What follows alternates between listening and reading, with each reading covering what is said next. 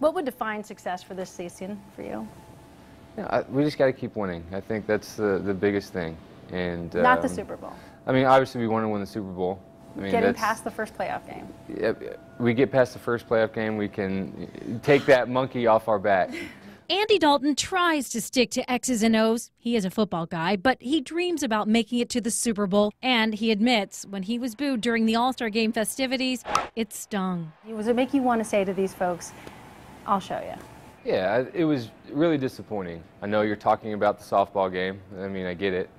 But it was disappointing that it happened just because of the success that we have had. Uh, I mean, the success that, you know, I've had, what we've been able to accomplish. I mean, the type of teams that we have. But I, I think this, the way that, you know, we've been playing, the way that I've been playing, the way that everything's gone on, I think there's a lot of people that are hopping on the bandwagon, as they should. And so, um, you know, it's, it's been nice to see that some people have changed the way of thinking. Some Facebook folks want to ask you some questions, okay? Let's hear it. Barb Thornton from Facebook says, What have you grown, wants to know, what have you grown to love about Cincinnati?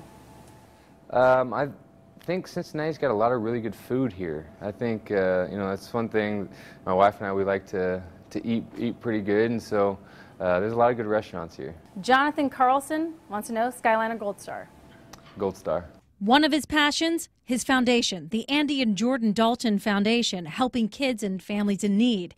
His other passion, his religion. I wouldn't be in this position unless God blessed me with so much